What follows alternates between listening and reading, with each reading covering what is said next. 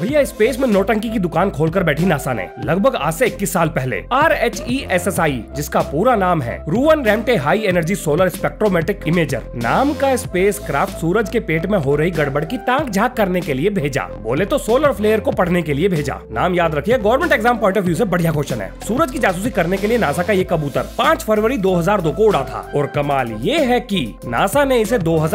में ही डीकमीशन कर दिया था और अपना अस्ता बस्ता बांध धरती आरोप गिरने की तैयारी तैयारी में इसे पाँच साल का समय लग गया उन्नीस अप्रैल दो को इसे धरती आरोप सहारा के रेगिस्तान में गिरना था और अब तक ये गिर भी गया होगा नासा की नई फुल फॉर्म नालायक अमेरिका की स्पेस एजेंसी क्योंकि इस स्पेस एजेंसी ने भारत की सुरक्षा के लिए जरूरी एंटी सैटेलाइट टेस्ट को दुनिया के लिए खतरा बता दिया था और जब ये अमेरिका ने किया था तब ये अचीवमेंट थी भारत का एंटी सैटेलाइट टेस्ट इसको क्या नाम दिया गया था